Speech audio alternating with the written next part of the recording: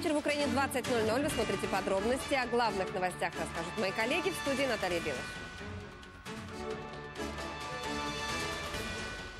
Мнимый шпион. Почему российские спецслужбы задержали украинского журналиста? Планы на осень, когда парламент рассмотрит скандальные документы о спецконфискации и презумпции правоты полицейских. Новые миллионы. Сколько денег планирует выделить Совет Европы для поддержки украинских реформ? Беззащитный титан у столичного спецназовца отобрали оружие. Сорванные погоны. Сколько украинских полицейских не прошли переаттестацию? Наш коллега, корреспондент агентства «Укринформ» Роман Сущенко арестован в Москве по обвинению в шпионаже. Сейчас он находится в СИЗО Лефортово. Это почти все, что известно к этой минуте. Детали расскажут наши корреспонденты. Кадры, на которых Роман Сущенко ожидает заседания об избрании меры пресечения в Лефортовском суде Москвы, распространили российские информагентства. По ходатайству Следственного управления ФСБ украинского журналиста отправили в изолятор спецслужб на два месяца. К корреспонденту сотрудников консульства не допустили. По словам правозащитников, следствие таким образом добивается признательных показаний. Вот что сказали в украинском МИДе.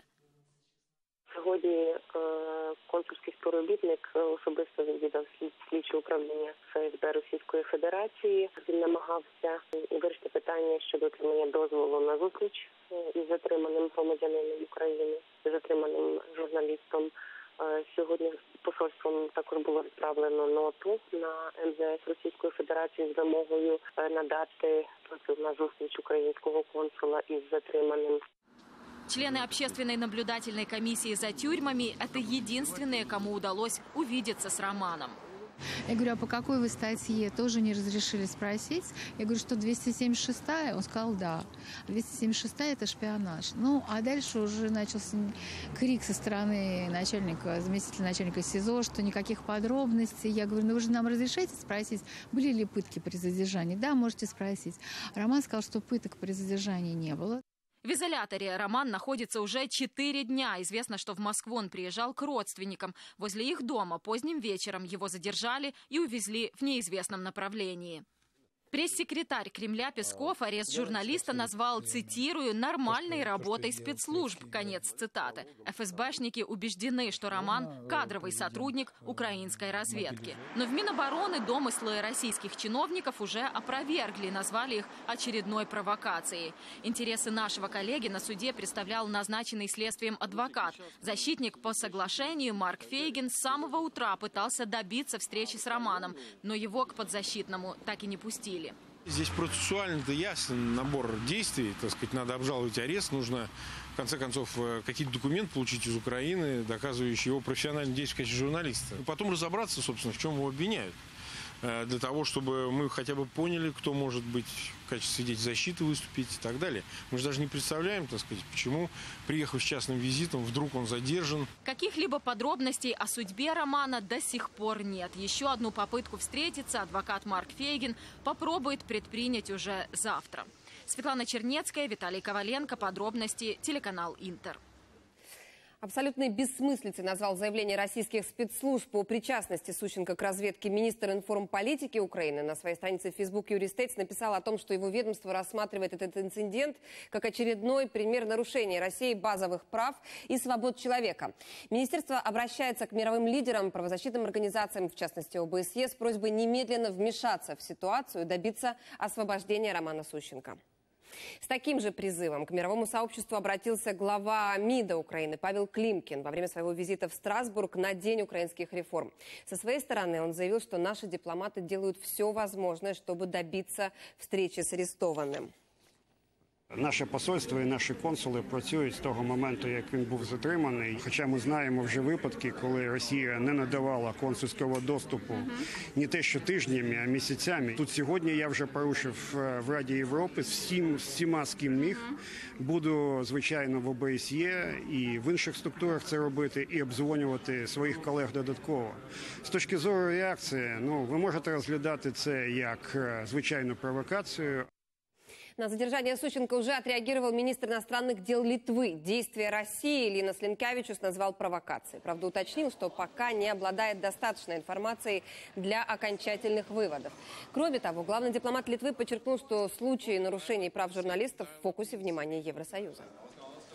Ситуацию с задержанием Сущенко прокомментировал и украинский премьер. На странице Facebook Владимир Гройсман выразил мнение, что после ареста украинского корреспондента Россия окончательно обрекла себя на изоляцию. А обвинение в шпионаже, выдвинутое Сущенко, это очередное доказательство массовых и системных притеснений прав человека, добавил премьер.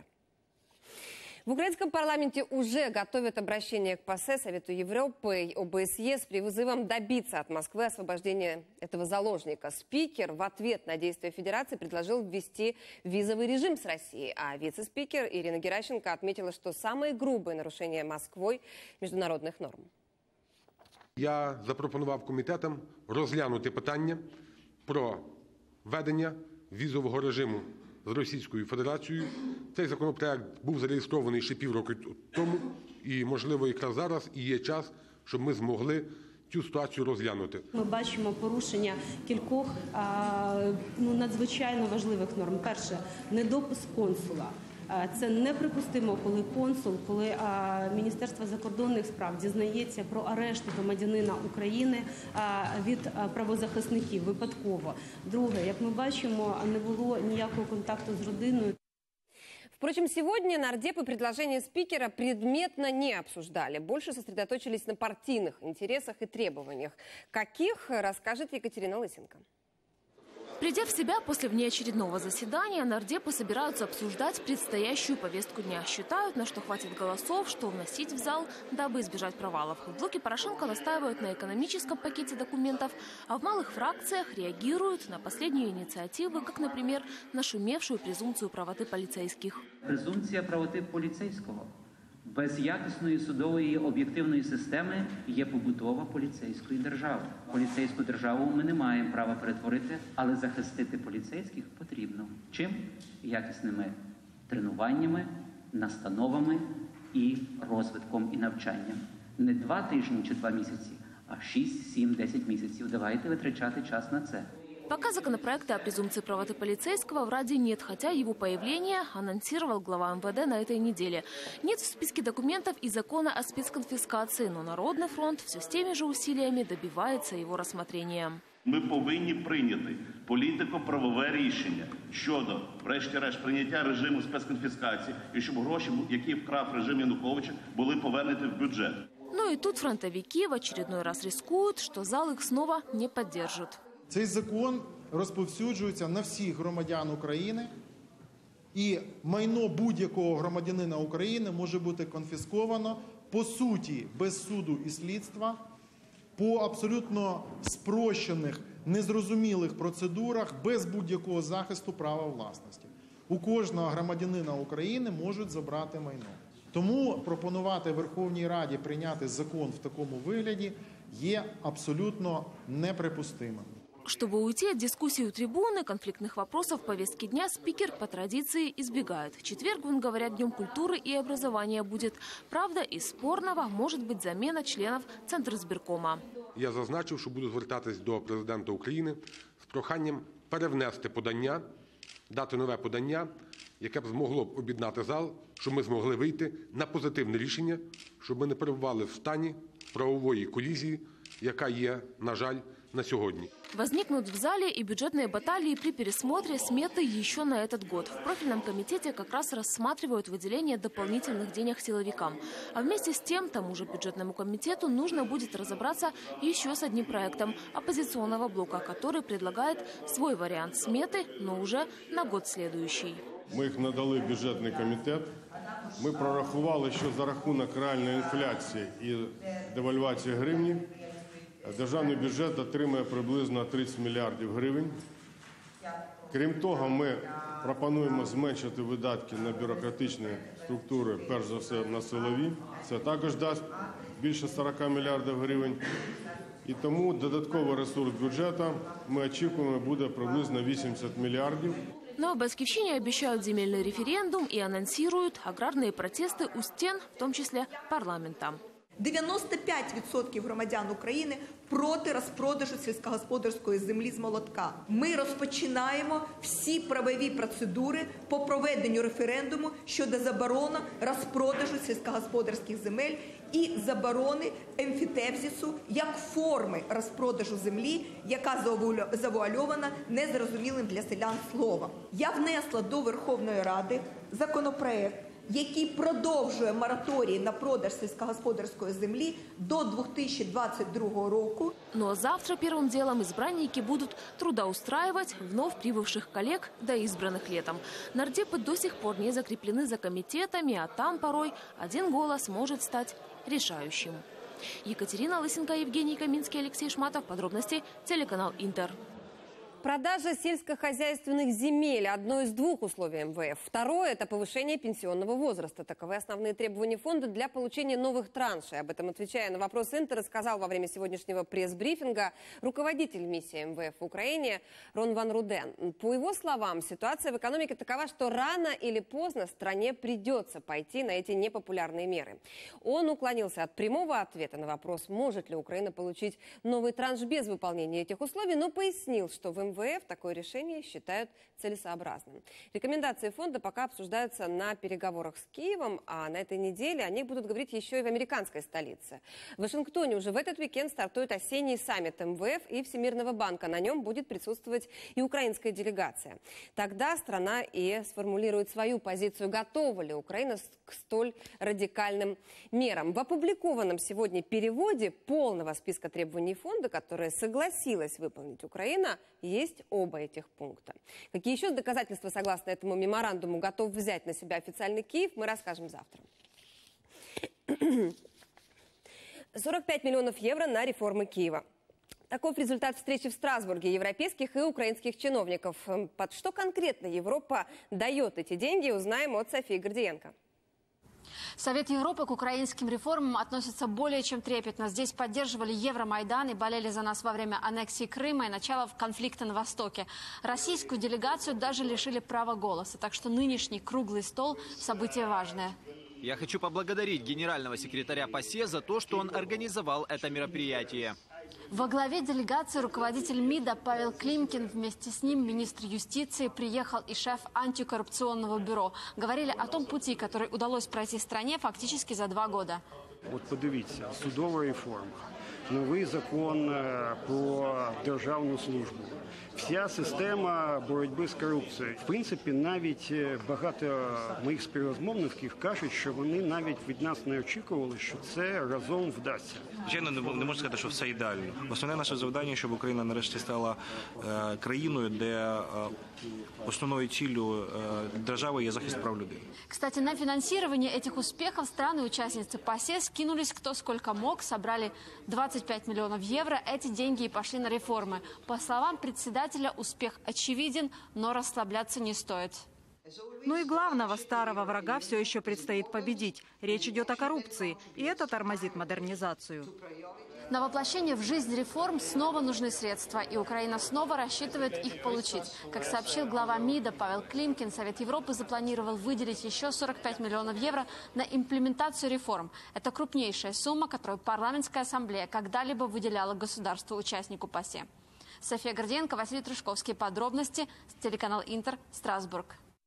И о коррупции. Таможня прячет добро в собачьем вольере. 7 тысяч евро грязных денег обнаружили сотрудники СБУ и военной прокуратуры во время совместной операции в пункте пропуска ТИСа.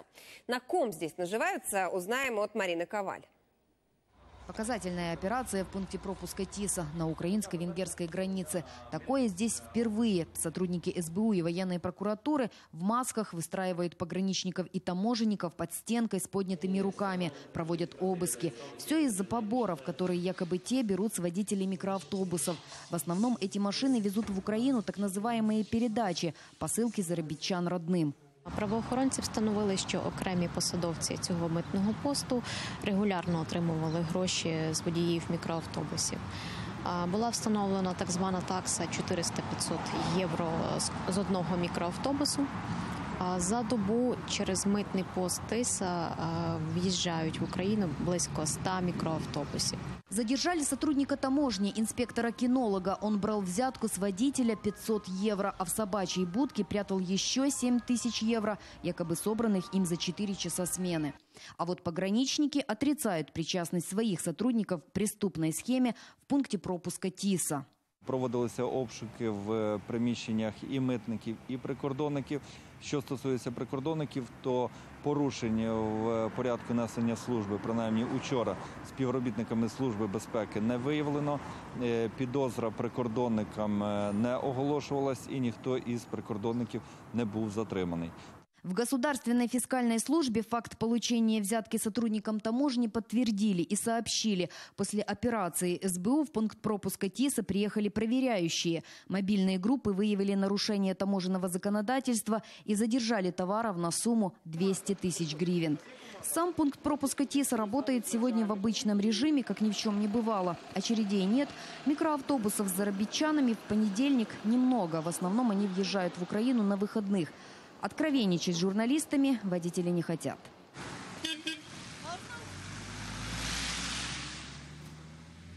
Задержанному инспектору-кинологу Закарпатской таможни за взятку грозит от 5 до 10 лет тюрьмы, если его вину докажут.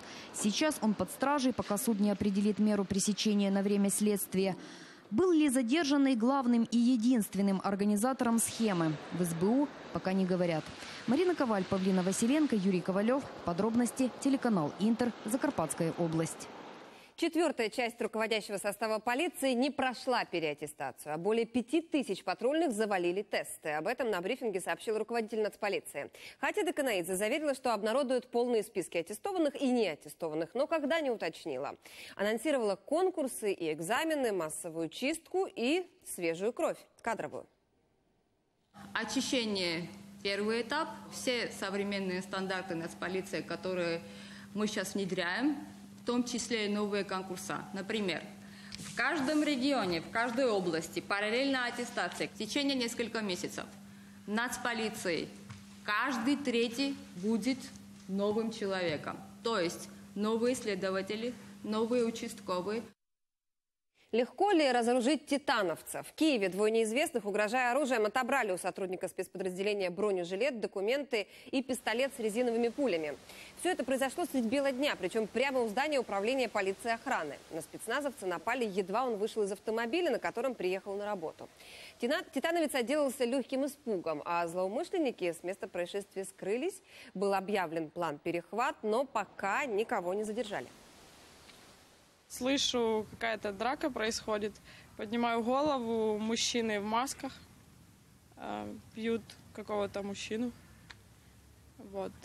Резко, это все очень быстро происходило, резко прыгают в машину и уезжают. У нас всі камери скрізь стоять, але виявляється, є. Була одна така зона, де якраз вони під камерою і не побачив, не, не видно ні по камері, ні охоронець Е, управління також не почув, бо двері були закриті і збіг обставин. А во Львове пьяный полицейский рассекал по улицам. Патрульные остановили автомобиль за пересечение двойной сплошной. Водитель выглядел нетрезвым, но от экспертизы отказался. Пытался договориться с полицейскими, дескать, свой.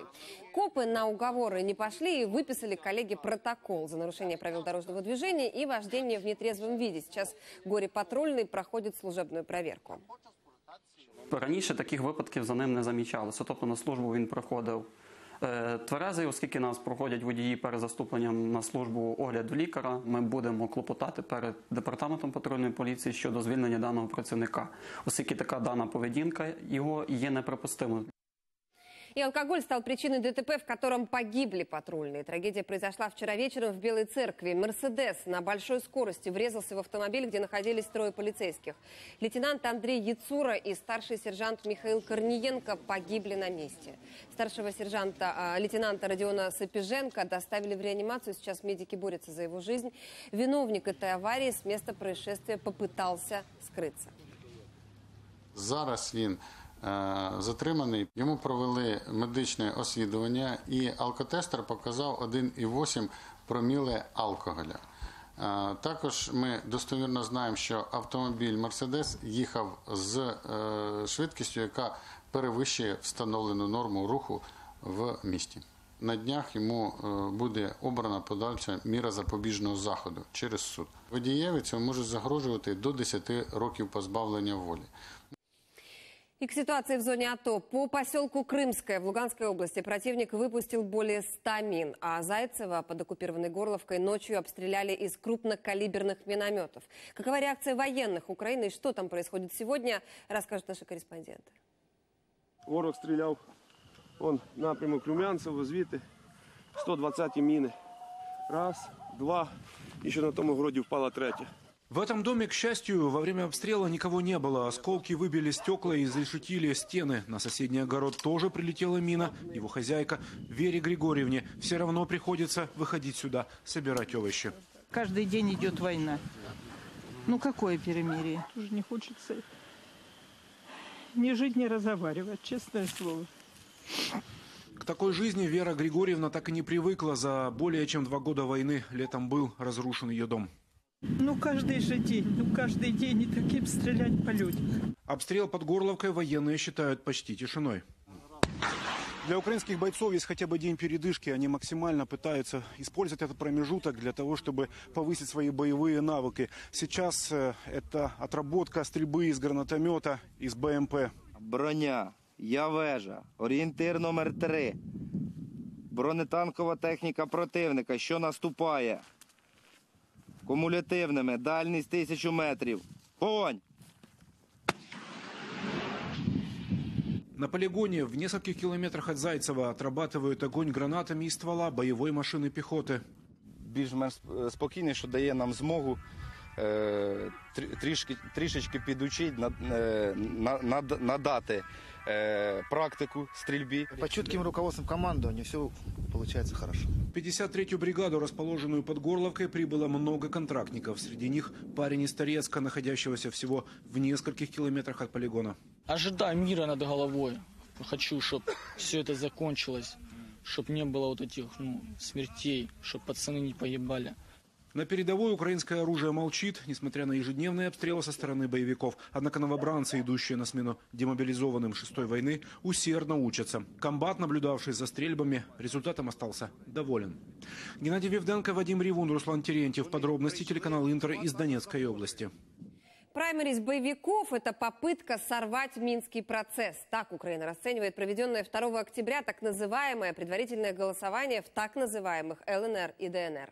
По словам Ирины Геращенко, вице-спикера парламента и представителя гуманитарной группы в Минске, на этих праймерис не было ни наблюдателей, ни средств массовой информации. В итоге предстоящие минские переговоры будут проходить сложнее. Теперь украинская сторона будет апеллировать в том числе к участникам нормандского формата с просьбой отреагировать, цитирую, на этот фарс.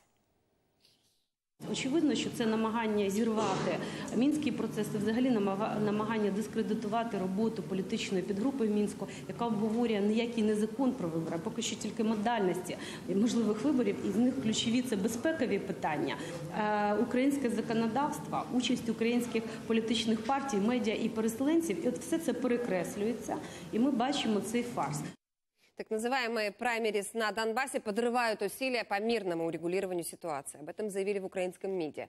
Что же касается реализации решения трехсторонней группы о разведении сторон на востоке Украины, то украинские дипломаты заявляют, что еще на прошлой неделе готовы были обсуждать в Минске этот вопрос в трехстороннем формате. Теперь же заседание рабочей подгруппы по безопасности назначено на пер- 5 октября. В Израиле разоблачена террористическая ячейка сторонников исламского государства. Ее члены планировали масштабные теракты. О том, как воспринимают в еврейском государстве угрозу халифата и как с ней борются, расскажет Сергей Ауслендер.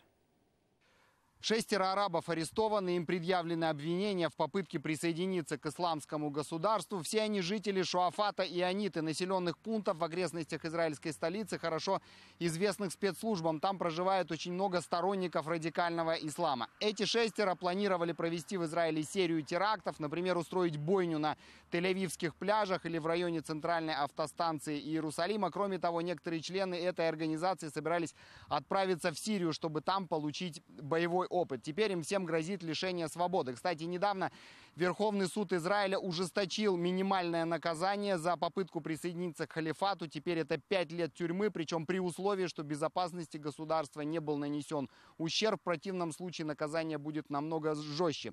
Кстати, многие эксперты сейчас отмечают, что ИГИЛ при всей его воинственности упорно избегает прямых столкновений с еврейским государством. Большинство, я бы сказал, вот этих вот э, лидеров ИГИЛа не хотят начинать э, с Израилем, потому что они знают, что Израиль имеет э, в этом регионе наиболее точное и наиболее я бы сказал, э, сильное вооружение и э, очень хорошую разведку. Поэтому, если Израиль начнет уничтожать лидеров ИГИЛа, то, э, естественно, у них не будет нигде э, возможности скрыться. Именно серьезное военное превосходство Израиля и удерживает халифат от атаки на такую, казалось бы, желанную цель, как еврейское государство. А точечные ликвидации доказали свою эффективность. Благодаря им в свое время удалось прекратить вторую интифаду. Поэтому если отряды исламистов оказываются вблизи израильских границ, в районе тех же голландских высот, то они предпочитают э, воевать с сирийской армией или с отрядами повстанцев. В Израиле же ИГИЛ э, применяет другие методы, действуя через своих сторонников, которые действуют, как правило, совершенно самостоятельно, автономно. У них нет никакого центра или штаба, откуда бы они получали инструкции, деньги и оружие. Халифат ограничивается лишь самыми общими заявлениями и призывами к своим э, последователям атаковать неверных везде, где только возможно. Сергей Услендер, подробности, телеканал Интер, Израиль. Экс-министр финансов Юрий Колобов имеет вид на жительство в Испании. Об этом заявил замгенпрокурора Евгений Енин в интервью украинским новостям. По его словам, еще рано говорить, есть ли шансы, что Испания выдаст Колобова Украине. Кроме того, комиссия по контролю за файлами Интерпола заблокировала доступ к файлу Колобова. Но в случае выезда экс-министра из Испании Украина может начать двухсторонний процесс его экстрадиции, не используя инструменты Интерпола. Напомню, два года назад СБУ открыла уголовное производство в отношении отношении Колобова и друг, других бывших членов правительства Азарова. Их подозревают в растрате средств, средств государственного бюджета. Дело Колобова расследует и ГПУ. В январе прошлого года Печерский райсуд заочно арестовал соратника Януковича. А через два месяца Колобова задержали в испанском Альтее. Но выдавать беглеца Киеву Мадрид отказался. Вы смотрите подробности. И вот что у нас во второй части. Харьковский отравитель. Что грозит производителю смертельного пойла? Игра с огнем. Кто виноват во взрыве на Яворевском полигоне? Миллионы на клетках. За что японский биолог получил Нобеля? Почти 12 миллиардов гривен должна государству Укрнафта. Этот долг продолжает расти, об этом заявляют в «Нафтогазе». На 1 сентября компания уплатила чуть более половины налогов, начисленных уже в этом году, а за прошлое задолженность не погашена. В целом около 10 миллиардов гривен компания должна за пользование недрами, чуть больше одного за неуплаченный вовремя налог на прибыль, плюс штрафы и пени. В «Нафтогазе» считают, что из кризисного состояния Укрнафту может вывести комплексное решение, которое должны поддержать и акционеры, и кредиторы. Единства у сторон пока нет. Напомню, контрольный пакет предприятия принадлежит государству, а вот 42% акций в руках группы «Приват». Смертельный алкогольный суррогат продолжают изымать фискалы в магазинах Харьковской области. От конфис... Э, контрафакта по всей стране уже умерли 40 человек. Подпольный цех, где производили паленую водку, уже нашли, как и 4 тонны метилового спирта. Но сколько успели переработать и пустить в продажу под видом водки, правоохранителям пока неизвестно. Проверяют в первую очередь точки, где алкоголь продают на разлив. По харьковским наливайкам прошлись и наши корреспонденты. Проверяющих, да еще и с видеокамерой в этом киоске, где торгуют спиртным на разлив, явно не ждали. Хозяйка бросается закрывать магазин. Что значит подождите, объясните? Опа, вы что, Ведите себя нормально. А продавщице при виде инспекции вдруг становится плохо. Ей даже приходится вызывать скорую. А в этот киоск на Павловом поле оперативники заходят под видом покупателей. Через минуту выходят с полными стаканчиками. Здесь мы подошли без, без вопросов, на разлив купили вот, э, водку, э, дешевую. 7 гривен, 100 грамм, резкий запах спирта. Ну, говорят, вроде как домашнего производства. Что такое домашнего производства, непонятно. После этого, предъявив удостоверение инспекции, продавщицу просят показать документы на водку. Вы продавец? Я стажер. Стажер, да? Да. Документы, лицензии есть?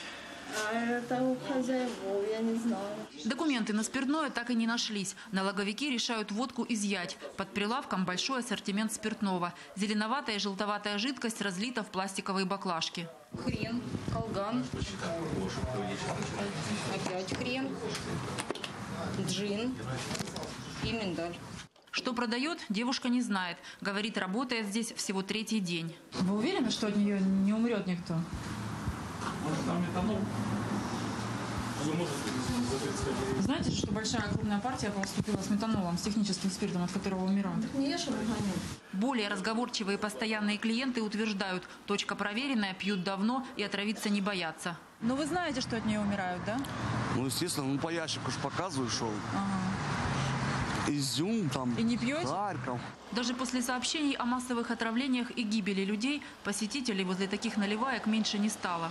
Тут уже постоянный контингент просто. А тут рядышком прием макулатуры, они сдают макулатуру, и тут рядышком сразу расслабляются. Я утром иду на работу, и тут очень часто мужчины просто лежат вот как э, полумертвые рядышком. Этот киоск налоговики закрыли, водку конфисковали. Всего за сегодняшний день по Харькову изъяли более полутысячи бутылок спиртного неизвестного происхождения. И каждая из них могла быть из той смертельной метаноловой партии. Светлана Шикер, Александр Яновский. Подробности телеканал Интер Харьков.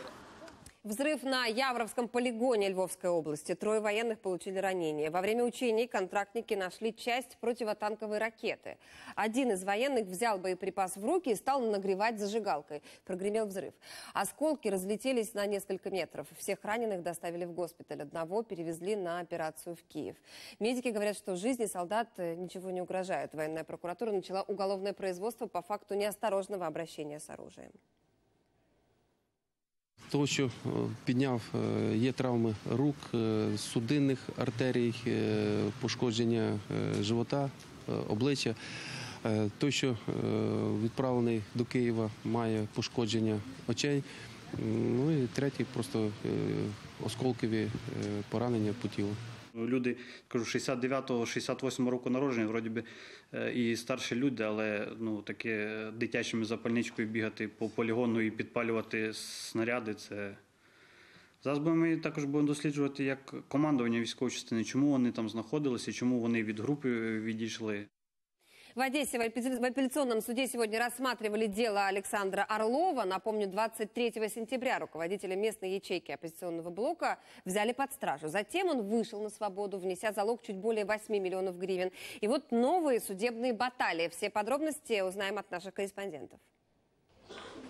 И адвокаты Александра Орлова и прокуратура в апелляции оспаривают одно и то же решение суда первой инстанции. Только цели разные. Защитники просят снизить размер залога с 8 миллионов 600 гривен до 400 тысяч. Прокуратура требует взять оппозиционера под стражу без права внесения залога. Обвинение считает, Орлов может скрыться от следствия, уничтожить улики и повлиять на свидетелей більш м'яс- м'яких запобіжні заходи не забезпечать виконання Орлова процесуальних обов'язків та не нададуть можливості запобігти вищевказаним ризикам. Орлова подозревают в организации массовых беспорядков 19 февраля 2014 года в Одессе, когда он был вице-губернатором области. Сам политик говорит, два с половиной года ни от кого не скрывался и сейчас не намерен. У него дочь-инвалид и престарелые родственники. Считает, что прокуратура любыми способами хочет выбить из него показания против других людей. Я не знаю. Да надо быть уже прожженным таким значит, человеком, тем более мать лежит в больнице после инсульта. Значит, и на этом апеллировать По словам адвоката-политика, доказательства вины подзащитного прокуратура строит на показаниях всего одного свидетеля – Сергея Калинчука, тогдашнего коллеги Александра Орлова по обладминистрации. Якобы по телефону Орлов просил Калинчука помочь поселить группу тетушек в одесских санаториях. Між тим, ні один із директорів санаторіїв, який був допитаний, не підтвердив, що до них звертався Орлов з приводу поселення груп в санаторіях. в материалах дела нет остальных свидетелей, только его свидетельство о том, что я ему давал такие указания. На мою просьбу на следствие сделать точную ставку, пригласить его. Мне не то, что не было отказано, эти след... следственные действия не были произведены. В итоге суд отклонил все апелляционные жалобы и адвокатов Орлова, и обвинителей. Теперь прокуратура попытается взять оппозиционера под стражу уже по новому подозрению – препятствование проведению митинга с применением насилия. Слушания назначены на среду. Оксана Григорьева, Леонид Аборин. Подробности телеканал Интер. Одесса. Изменения по упрощению налогообложения могут быть приняты уже в нынешнем году. Об этом заявил Владимир Гройсман во время презентации поправок в налоговый кодекс. По словам премьера, это облегчит введение бизнеса в Украине. В первую очередь, считает Гройсман, должна быть упрощена система адміністрування налогов. Дуже важливо створити систему, яка би дала можливість бізнесу абсолютно легко розвиватись. Це те, що стосується контактів з органами влади щодо дозвільних процедур, щодо питання фіскальних, адміністрування податків. Це все має бути відкрите, прозоро і зрозуміло для всіх учасників процесу. А в Соединенных Штатах налоговые манипуляции стали причиной очередного скандала вокруг Дональда Трампа. Какие схемы вскрылись и как скажется эта шумиха на рейтингах кандидатов в президенты? Дмитрий Анопченко знает все подробности, он в Вашингтоне. Сенсационную статью, о которой все сегодня говорят, опубликовала в эти выходные авторитетная «Нью-Йорк Таймс». Ее журналистам попали в руки старые налоговые отчеты Дональда Трампа, из которых следует, в 95-м бизнесмен задекларировал почти миллиард долларов убытков. А значит, после этого вполне законно мог 18 лет не платить налоги. Газета пишет, в 90-х Трамп совершил множество ошибок в бизнесе. Вложил деньги в казино в Атлантик-Сити, попробовал заняться авиабизнесом, но неудачно. В итоге заявил о финансовых потерях почти на 900 миллионов долларов. Но личные потери, мол, обернулись и потерями для государства. Ведь по закону это позволило в последующие годы налоги не платить. Узнав об этом, противники Трампа уже заговорили, мол, какой из него будет президент, когда и бизнесмен-то он не очень. А вот его сторонники и члены его избирательного штаба наоборот говорят, Трамп гениальный предприниматель, раз воспользовался пробелом в законодательстве. Мол, если закон позволял не платить налоги, то почему бы и нет? Да он вообще гений. Ну, воспользовался чем-то, что позволило спасти свой бизнес. Так это то, чем мы восхищаемся тут, в Америке. Это как Стив Джобс, как Уинстон Черчилль. Что интересно, Хиллари Клинтон во время выступления перед сторонниками, а она сейчас с агитационной поездкой в Северной Каролине, решила эту тему вообще не поднимать. Хотя журналисты и ждали. Хиллари уж точно не упустит шанса проехаться по сопернику. А вот Трамп, наоборот, решил, что лучшая защита – нападение. Выступая в Пенсильвании, республиканец неожиданно жестко прошелся по слабым местам Клинтон и даже спародировал конкурентку. Напомнил о ее недавнем обмороке и сделал несколько шагов от трибуны, шатаясь, будто вот-вот упадет. Она просто катастрофа. И вот вам женщина, которая должна бороться со множеством проблем. Но она не может и пяти метров пройти до своей машины. Может, уже достаточно?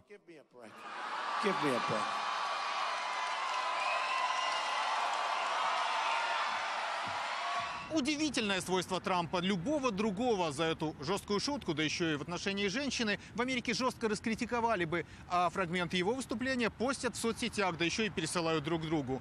Для любого другого этот налоговый скандал стал бы поводом, если не для окончания карьеры, то для того, чтобы потерять множество голосов. Ну а для Трампа это лишь повод для рекламы. Но хватит ли этого качества, чтобы выиграть? Пока что соцопросы показывают, что шансы равны. Из Вашингтона Дмитрий Анопченко, Юрий Романюк, Американское бюро телеканала «Интер». Но в Эстонии президентские выборы позади, и впервые в истории этой страны главой государства станет женщина. К тому же 46-летняя Керсти Кальюланд станет самым молодым президентом. Она была единственным кандидатом на главный пост в стране. За нее проголосовал 81 из 101 депутата. В Эстонии полномочия президента очень ограничены. Это скорее символическая должность. У Кальюланд биологическое и управленческое образование. Последние 12 лет она была представителем Эстонии в Европейской счетной палате.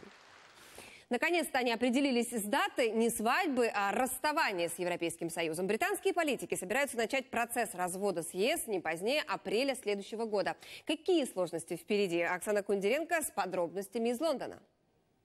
Казалось, они водят всех за нос и международное сообщество, и собственных избирателей. Но когда же начнется настоящий процесс Брекзита, спрашивали у рулевых консерваторов с момента референдума. Ответ последовал на партийной конференции из уст премьера Терезы Мэй. Раз взялась страной в нелегкое время руководить, обязана действовать. Раньше она говорила «Брекзит означает Брекзит» и вот добавила конкретики. Затягивать не стоит. Когда общественность голосовала за выход, она хотела видеть этот выход на горизонте. Хочу быть предельно понятной. Никаких ненужных задержек с содействованием статьи 50 не будет. Мы сделаем это, как только будем готовы, до конца марта следующего года.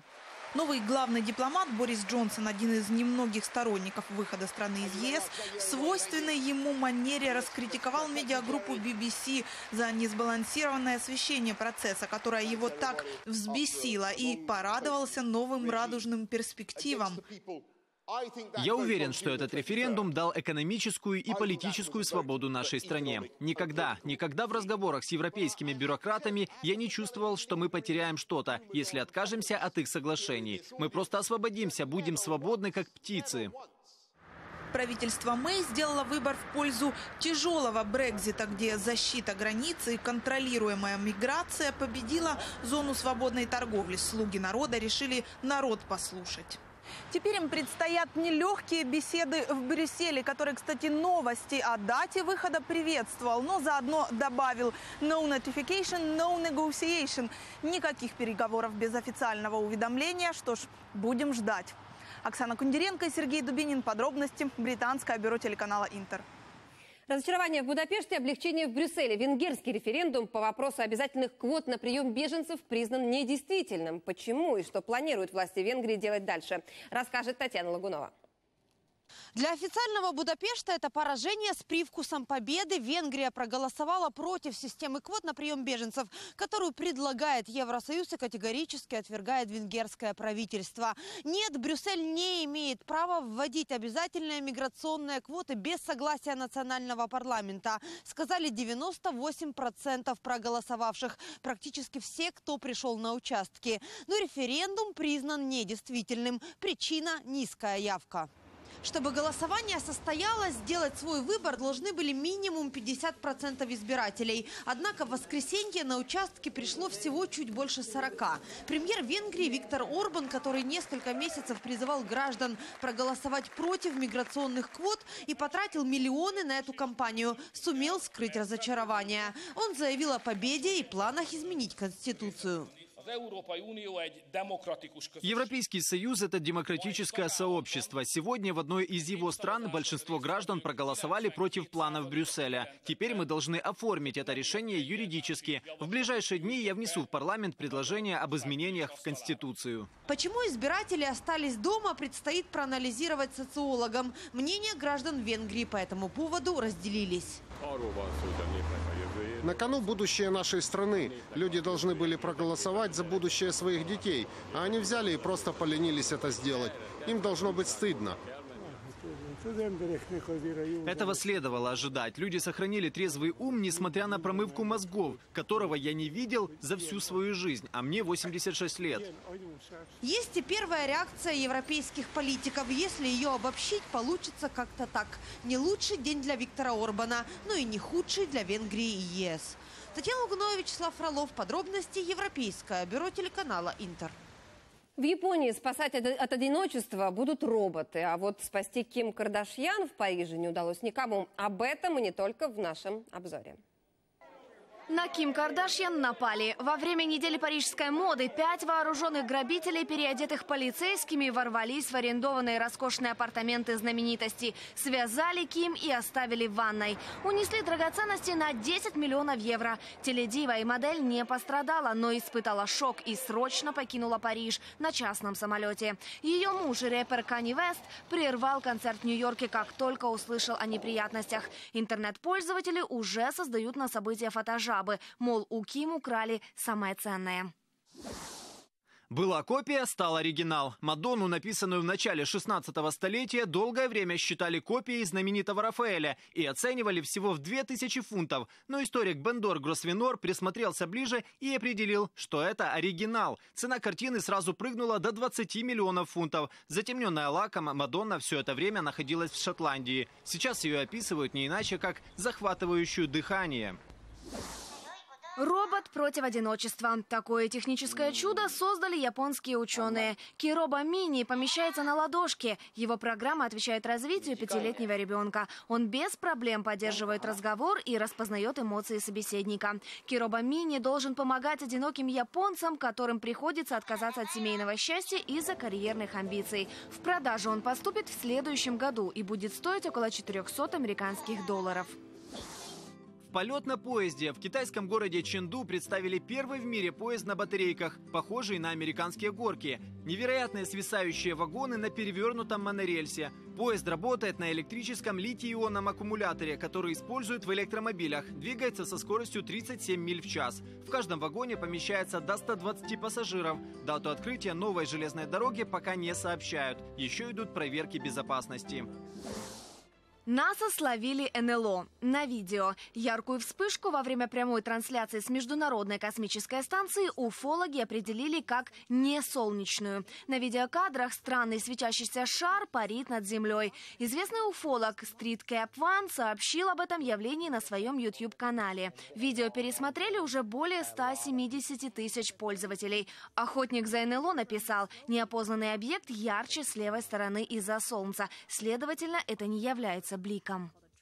Тайсон Фьюри объявил себя самым великим и заявил, что уходит из бокса. Британский боксер-тяжеловец, отобравший титулы чемпиона мира у нашего Владимира Кличко, сказал, что завершает свою карьеру. В соцсети Твиттер он написал, что бокс – это самая скучная вещь, которой ему когда-либо приходилось заниматься, и послал всех куда подальше, не стесняясь в выражениях.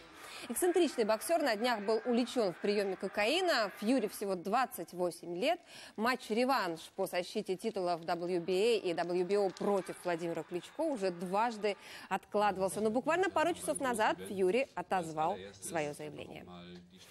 Следите за развитием событий на нашем сайте. Подробности UA. Хороших вам новостей. До встречи завтра.